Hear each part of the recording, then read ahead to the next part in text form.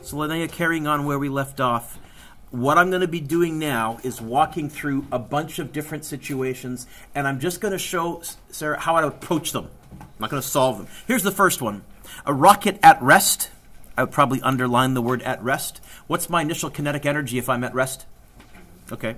Uh, blasts off from rest and rises to a maximum altitude or height. If I give you the altitude, make sure you add the radius of the planet. If I give you the height, make sure you add the radius of the planet. If I give you the radius, you don't need to worry about that. to a maximum distance, big R. Write equations to calculate the work done by the engine. Okay. Paige, what does this want me to write down? What does it want me to find? The what? Work, you say. So work. Let's not use red, Mr. Dueck. Work is going to be change in potential plus change in kinetic. But it looks like, Paige, we started at rest, and it looks like we've burned all our fuel, and so we're going to be coming to a stop, slowing down, slowing down, slowing down. And at the top for a split second, we'll be at rest. Really, it's the same physics as that right there, throwing a ball into the air. You okay with that? So I can cross out the change in kinetic energy. Paige, what's changing anything? So this is going to be negative big G, big M, little m over, and I guess R final is capital R minus negative big G, big M, little m all over. R initial would be little r. Now, the other thing I could do, instead of giving you big R, instead of giving you capital R, I could. Uh, you should just make a little note here. Capital R is little r plus h plus the height or the altitude. So I got a few options. Linnea, as far as I'm concerned, I could give you both of the R's and say, please tell me how much work.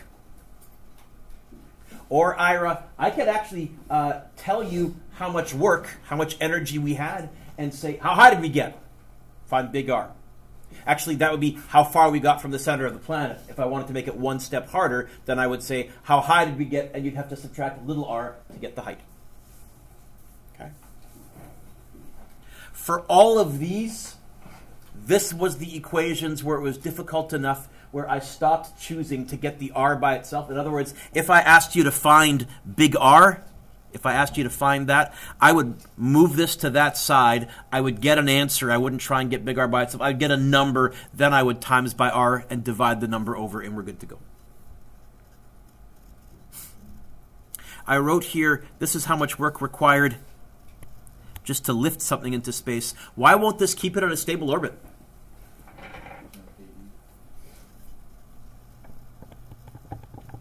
Why do you have to have KE to stay in a stable orbit? Because Otherwise, you because you are in free fall, what we do is we give you enough kinetic energy to give you just the right orbital speed so that you're moving tangent to the radius, and even though you're in free fall, you're never getting any closer to the Earth. Okay?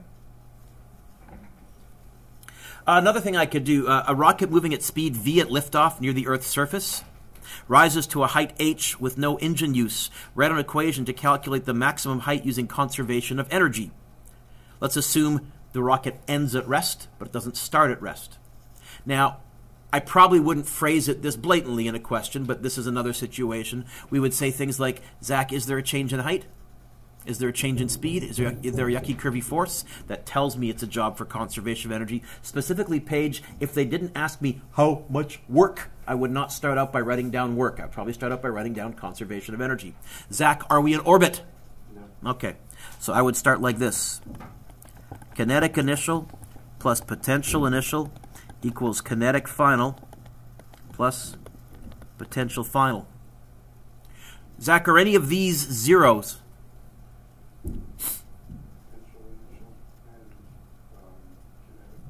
Kinetic final, I agree with. Are we out at the edge of the universe at infinity? Are we out at the edge of the universe at infinity? Say no. So, is the potential energy ever zero? If we were using MGH, it would be, but are we going cosmic? Yeah! And so we would end up with this a half m v initial squared plus negative big G, big M, little m over r initial, which usually, if we're coming starting from a planet, is the radius of the planet. I, I guess I could start from outer space too, but why? Equals negative big G, big M, little m over. Now, looking at the picture that they gave me here, is that H a radius from the center of the planet or not? So here, I would have to have little r plus h. That would give me big R, the distance from the center of the planet. In this equation, oh, Sarah, for what it's worth, the little m cancels. So I, I might give you the mass of the rocket, I might not. In this equation, I can either give you the radius of the planet, where we ended up, and I could say, how fast do we need to launch at? I could tell you how fast we launched at and ask you, how high did we get? Okay. You're going to see uh, examples like all of that in the ultimate review and in your homework. So I wrote here, if I know how much kinetic energy we start with, we can calculate the maximum height, and as always, it goes backwards. If I know the maximum height, then I can figure out how much kinetic energy I started with, what was my initial speed leaving the Earth. We're always ignoring air resistance, and we're always assuming we're launching from the North Pole, from Santa Claus, or Superman's Fortress of Solitude. Uh, a rocket moving at speed v near liftoff barely escapes Earth gravity with no additional engine use. Write a conservation of energy equation that would allow us to solve for v. So one of the key things here is barely. What did we call this? When you barely escape the gravity by coasting the rest of the way out to the edge of infinity. Okay, so this is what we call escape velocity. How did we do this? Does the question say how much work? Patrick, is the question asking how much work? Be obvious. Uh, no. No. So I'm going to go conservation of energy because we're not in orbit. So I'm going to go kinetic initial plus potential initial equals kinetic final plus potential final. Are any of these zero, Zach?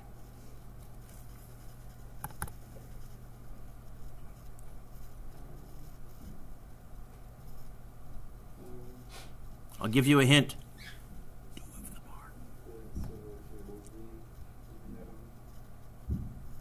Where are we ending up at? Out at? Okay. At? Okay. This was kind of strange because you were like, what? Did I not use any energy up? You did. It's just going to be all of your kinetic gets turned into potential. You get this a half m v initial squared plus negative big G big M little m over r initial equals nothing. Then what we did is we took that negative term, Sarah, and we plussed it over. This is how we derived the escape velocity equation. We ended up with a half m v initial squared equals positive big G big M little m over r initial. We once again noticed that. So what could I give you here? Uh, certainly I could give you the mass of the planet, the radius of the planet, say find me the escape velocity. I could also tell you the escape velocity and the radius of the planet and say what's the mass of the planet. Believe it or not, that's what we use to actually calculate masses of black holes uh, because we know that the escape velocity for a black hole is the speed of light. So we look at where that event horizon is through our telescopes, and we can use it to figure out the mass of the black hole because we know the radius of the distance from the center. A rocket at rest on the Earth blasts off and and not and and enters a ooh ooh ooh ooh ooh stable orbit. How much work will the engines do? Sarah, what's this question asking me to find? So I'm going to go like this. Work equals change in potential plus change in kinetic. Does the change in kinetic get crossed out this time? Because it got crossed out way back here in example A. Does the change in kinetic get crossed out if we're in orbit? No, we can't. Okay? So this part here, the change in potential, would be the same as part A. We would have to walk through that. And then the change in kinetic would be what's changed in anything? and it does say we can assume that we've begun at rest. The only thing I'll make a note here is I might give you the orbital speed. If I did not, let's make a little note to find orbital speed, gravity is what's pulling me in a circle. So to find V orb, which is V final, use that. I think we ended up with V orb being the square root of big G big M over R. I don't know. I'd rederive it. This is the question that is a lot of work. It's about 10 lines. There absolutely will be one of these on your test. On your test, I'm going to ask you to calculate how much work to go in orbit. I might be nice and give you the speed in the question, or I might make you calculate the speed. I'm flip flopping. It's, it's honestly, i am going to create the tests. I'm going to write them myself and time myself. To shorten it, I may end up giving you the speed, but be prepared to have to find the speed if it's a short, shorter test. We can also do crashes, asteroid impacts. Satellite moving at speed v at a distance r from the Earth's center falls to the Earth's surface. How fast will it hit the Earth? Kieran, what's this question asking me to find? Did it say how much work? No. Is there going to be a change in height and a change in speed and a yucky curvy force? What would I use here? Are we, uh, by the way, are we in orbit? Are we crashing into the Earth? So are we in a nice stable orbit? No. So don't do don't do gravity's pulling me in a circle. See all the little hints we can get. So we would start out going K E initial plus P E initial equals K E final plus P E final. Kieran, are we starting out at rest? No. I might give you this and say start out at rest just to make the math nice. There is going to be some kind of an asteroid potential energy change in question like this. So here we end up with a half m v initial squared plus negative big G big M little m over r initial. That equals a half m v final squared plus negative big G big M little m over r final. The little m's cancel again. And Kieran, as far as I'm concerned, then, there are three main variables here V initial, R initial, V final. Probably wouldn't ask you to find R final. That's going to be the planet, and if it's the Earth, you already know that, or I'd, I'd give you that. So, as far as I'm concerned, if you want to, you can put a little arrow pointing there and there and there. I can give you any two of those and say find the third one. I would not try and get the letters by themselves right away. What I would do is whatever term contains what I'm trying to find, I would get it by itself, move everything else over, crunch all those things, get a single number, then I would get the letter by itself. Does that make sense, Tato? Okay. And there's going to be some like that on your homework if you're not sure.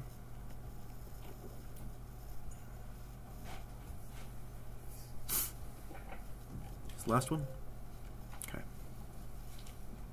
A satellite in orbit around a planet has a gravitational potential energy of that. Its orbital radius is that.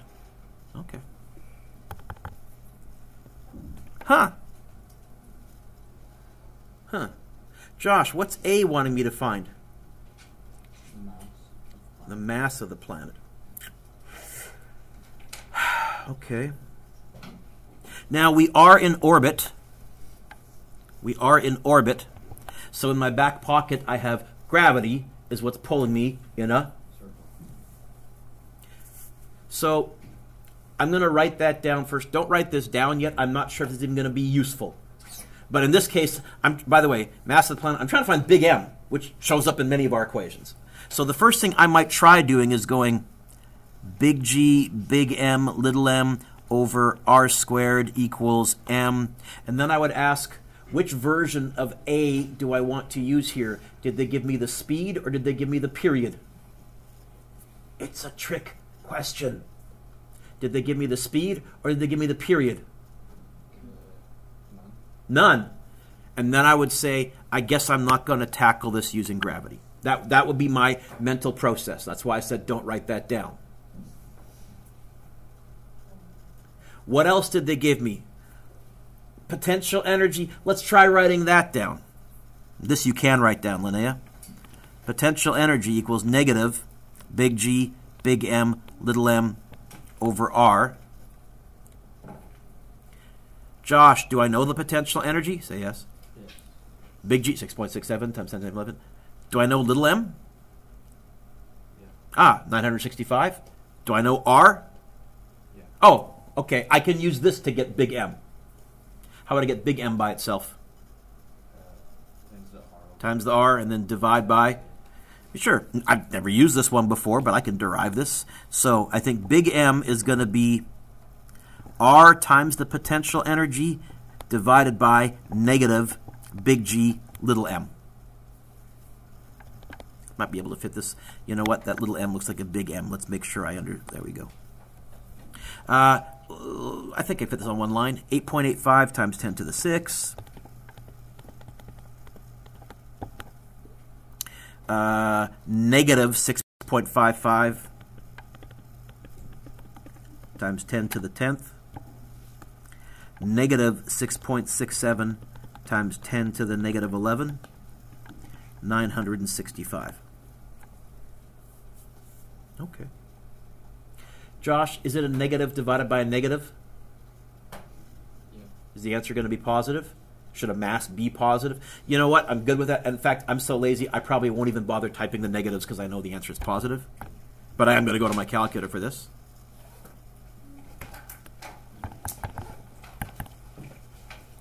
Eight point eight five, scientific notation six times negative six point five five, scientific notation ten. Oh, I did type the negative. Divided by negative 6.67, scientific notation, negative 11, times 965. I'm hoping I get something in like the 10 to the 22, 23, 24, 25. Like most of our planet masses have been in the 10 to the 20 or 10 to the 30. I think the sun is 10 to the 30. So I'm hoping I get something in the 10 to the 20s, I think. Do I? Did you get, wow, almost exactly 9 times 10 to the 24th? Yes? Is that what Mr. Dueck started with when he reverse engineered this question? Probably. Okay. Linnea, did you get that okay? Because you're practicing typing these into your calculator? Because it's not like you ever had trouble typing this into your calculator? You got it okay, right?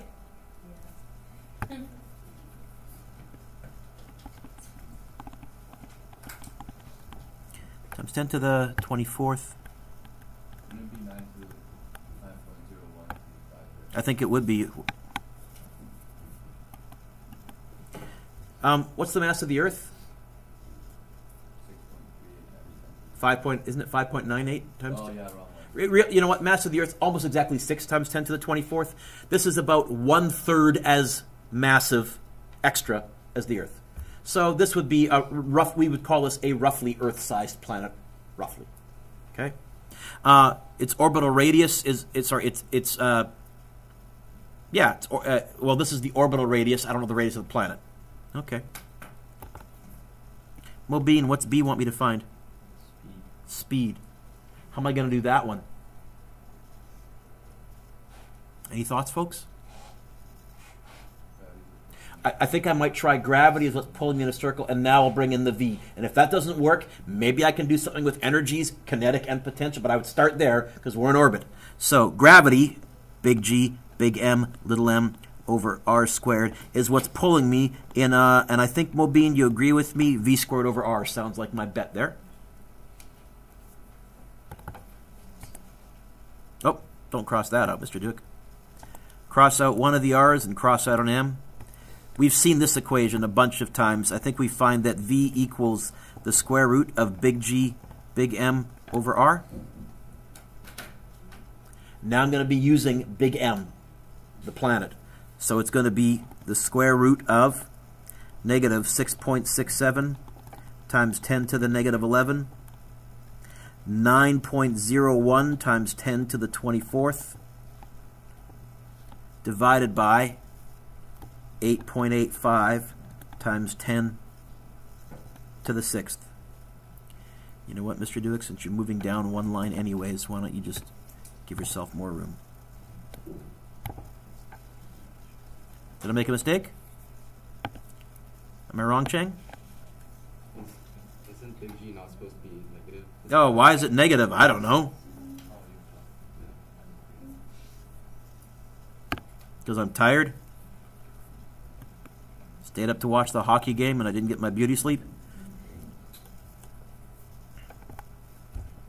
Is that okay? Let's try that then. Linnea, what's the answer? Good. Try it, please.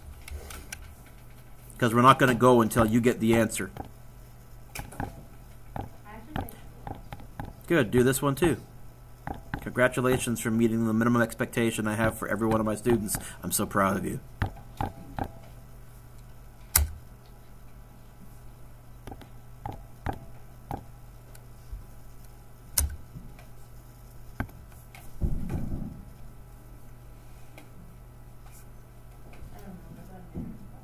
No, I'm not gonna.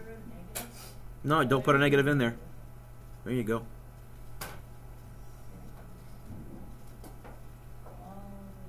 What'd you get?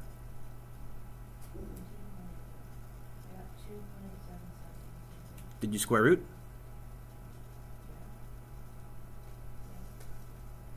Yeah. Is that the right answer?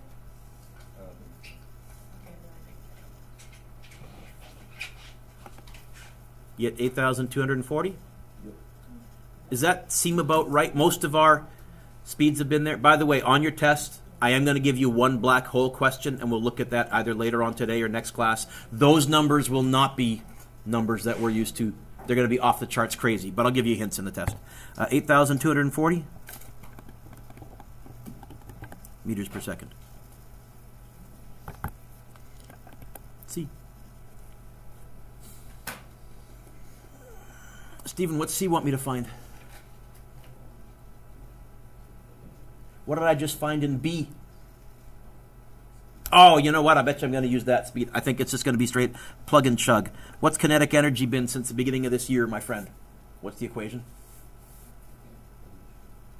No, no, what's kinetic energy? It's on your formula sheet, which you have out in front of you, right? A half mv squared? Good. And this is the kinetic energy in orbit. Um, it's going to be a half. What was m? I've scrolled down. Thank you, Stephen. And I'm going to write 8240, Stephen, but you know I'm going to use my answer button, yes? A half times 965 times answer button squared. And I get this. You get uh, 3.276 times 10 to the 10th.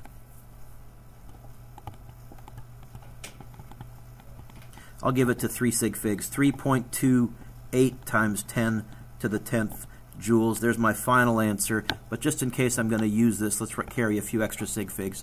3.27646 times 10 to the 10th joules. And what's the last thing they want me to find? How do I find total energy in orbit? What does the word total suggest I should do? Add. What energy do I have in orbit? Potential and kinetic. Did they tell me the potential energy in orbit already? Say yes. Oh, so this actually, your eyes looked really wide. Is that this is actually going to be easy? It's going to be potential energy in orbit plus the kinetic energy in orbit. And conveniently, I have the kinetic energy stored on my calculator. Plus, what was the potential energy? I've scrolled down. Can you read it to me, kiddo?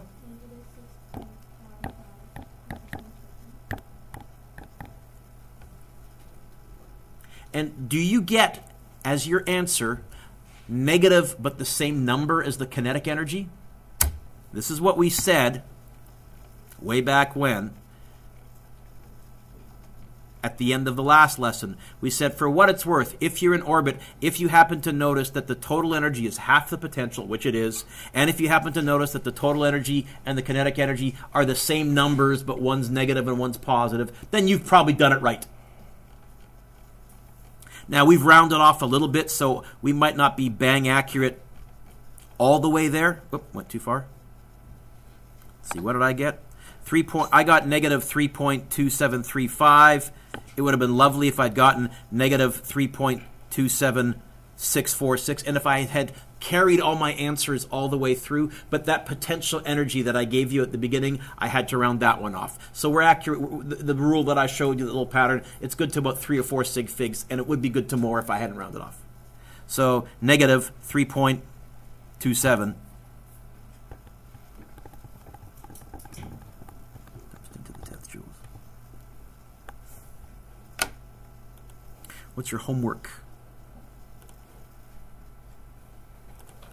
Lots.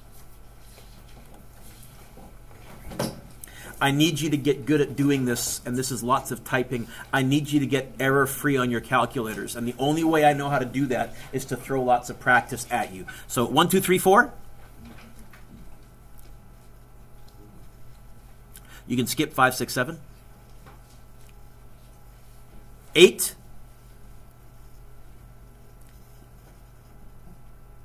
You can skip nine. 10, 11.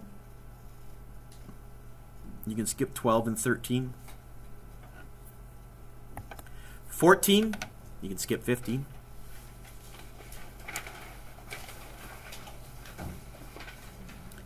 Sixteen, you can skip seventeen. Eighteen and nineteen. We're not done.